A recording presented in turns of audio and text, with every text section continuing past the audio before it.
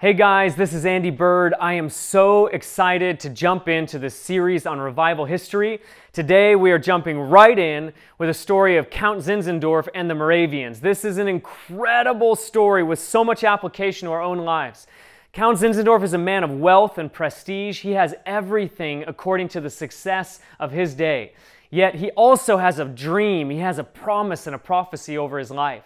And his willingness and his ability to step into that is going to be directly related to the size of the yes in his heart and his willingness to obey God versus chasing the success of, of society. His yes to a group of refugees that have moved onto his land, his yes to move in and get his hands dirty, believing that what seemed like nothing in its early days was going to turn into something that would literally shape all of human history, that yes would become the most important yes of his life. All right, as we jump in today, let me give you three things to look for in this story. Number one, don't underestimate the power of a simple yes. God is looking for people who are simply willing to say yes.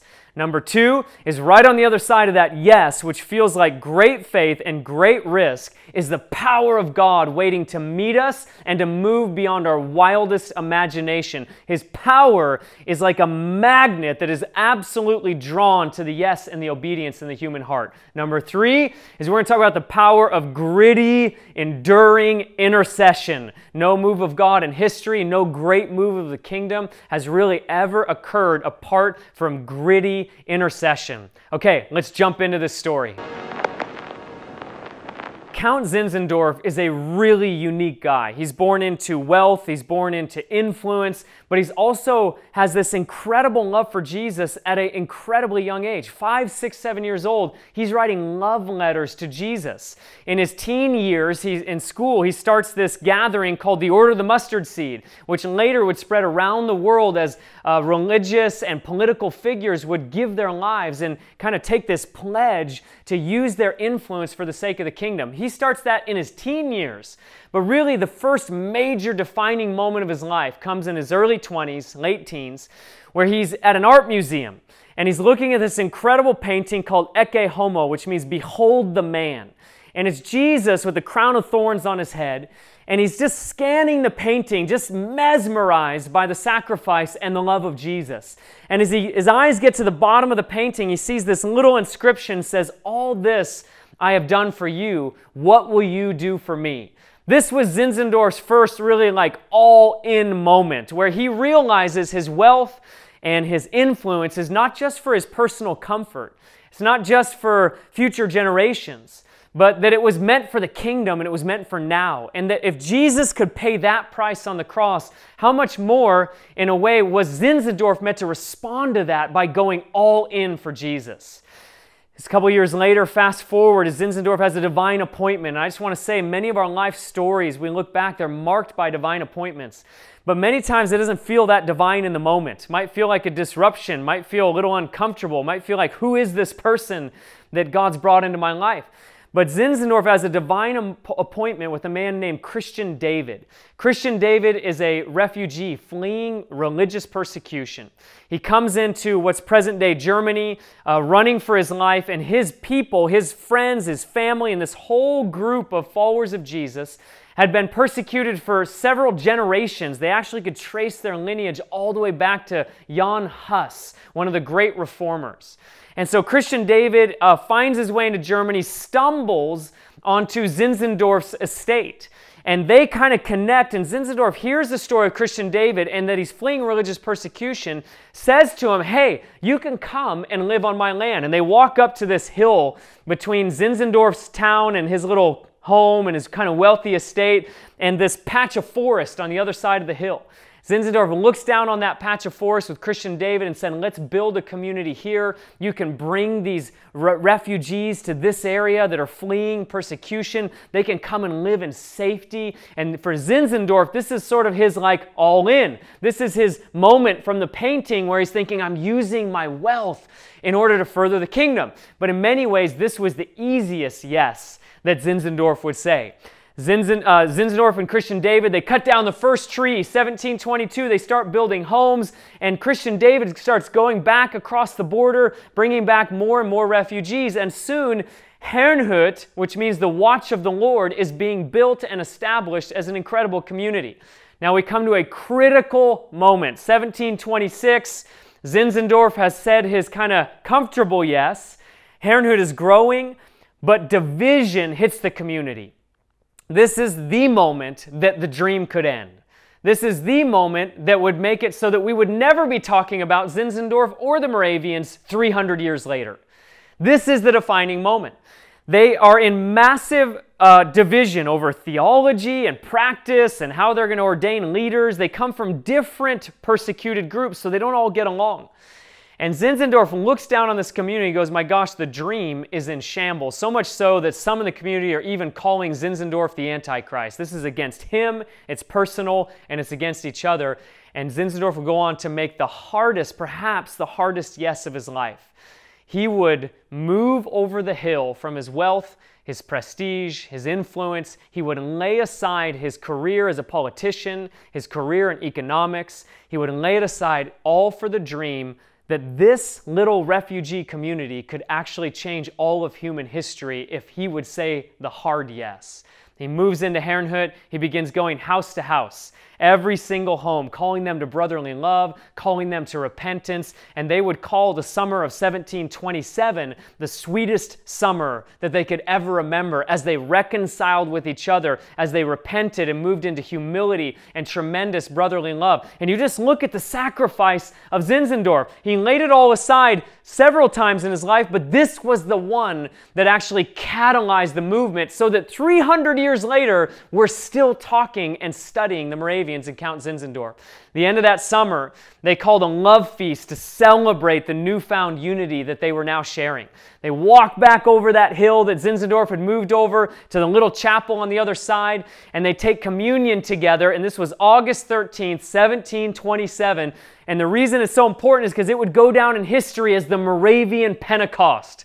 In the middle of communion, the power of God opened over that little chapel. His presence was poured out so much so that they were writing things like, In heaven or on earth, we did not know. The presence of God moved with profound tangible power. They knew that they were filled with the Holy Spirit for Holy Spirit empowerment, and really the rest was history. This Pentecost sent this little community of refugees that had now found newfound unity with a sacrificial leader who had laid it all down for the sake of their unity and obedience to God. The fire of God would fall on that sacrifice and they would go on to change all of human history and to change the world around them out of the simple obedience that came out of that Moravian Pentecost. It was about four or five days later, and there's many recount, accounts of how the children led the way. They were so moved by this encounter with God and this fire that was burning inside of them that they were found in the fields in prayer. They were, they were hungry for worship, and the whole community became a worship and praying community. In fact, they decided in these early weeks after the Pentecost that they were provoked by the thought that the enemy was standing before the throne of God day and night, accusing the saints. And they were provoked by the, the, the, passage in Leviticus that the fire on the altar must never go out. And with these things in mind, they decided let's start a one hour prayer rotation that would go all day and all night, seven days a week. So two or three people would take an hour, then the next, per, next two or three, the next hour, and they began a Moravian prayer chain of gritty, faith filled intercession, praying for the lost, the nations of the earth. They had thousands of names and uh, prayer requests and people they were praying for. And it was out of this furnace of intercession that four or five years later, the Moravian missions movement would begin.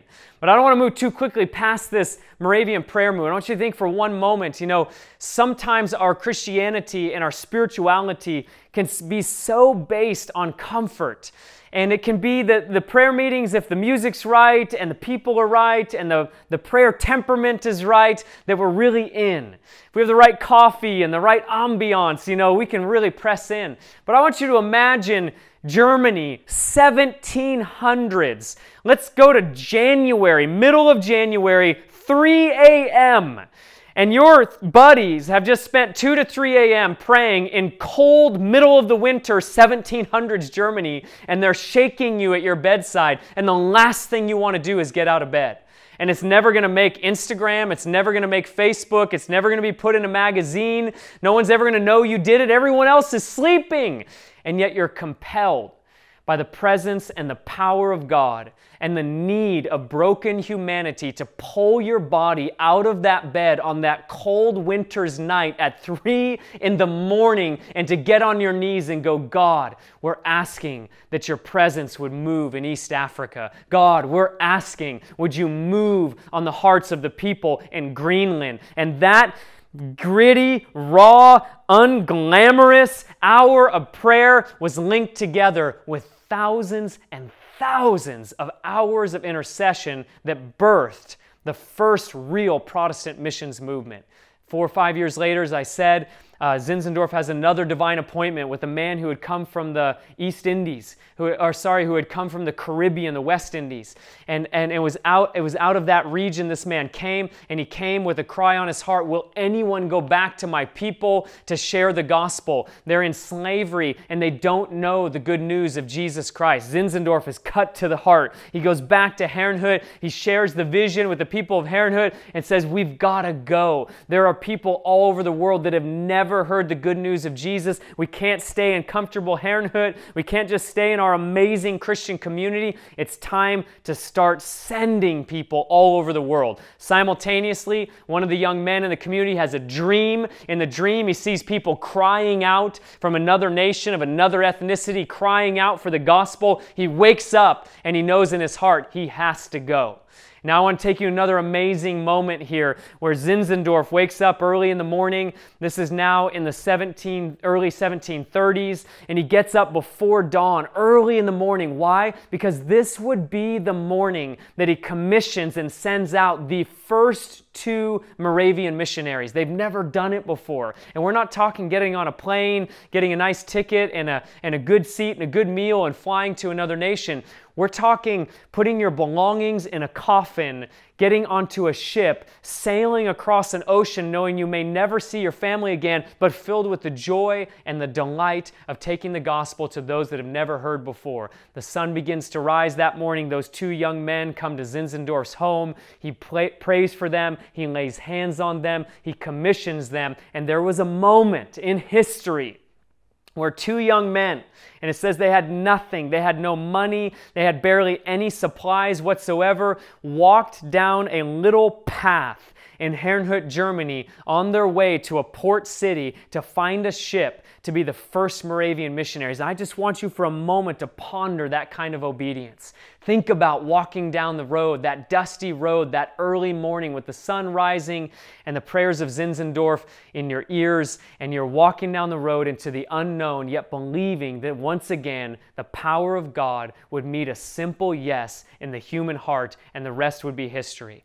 Now, this movement of worship, intercession, and this movement of missions would go on to change entire nations of the world and go on to birth the Protestant missions movement that would inspire many others like William. William Carey, and for countless missionaries for hundreds of years to go to the nations of the earth. They were the first to take the gospel to places like Alaska, Greenland, East Africa, um, into some of the slave colonies in, in, the, um, in the Caribbean region. They went all over with one primary slogan on their hearts that the Lamb would receive the reward of his suffering. They went, and many laid down their lives, but they went in joy. They went in the, the excitement and the privilege and the joy of their obedience to God. It was the Moravians who launched this prayer movement, the Moravians who launched this missions movement, all on the power of simple yeses, simple obedience, the power of God, grit and endurance, and 300 years later, we're still being inspired by their story.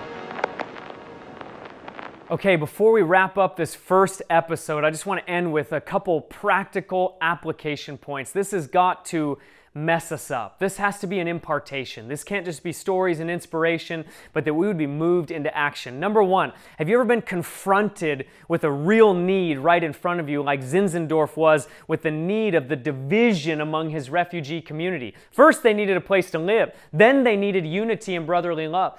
What have you been confronted with recently? What do you see in the world around you that we can't just go to bed and pretend like it's not happening? God wants to confront us with the needs and the brokenness around us. And our response to those things are often the things that change human history. Are you willing and are you ready to be confronted in your life by the need and the brokenness around you?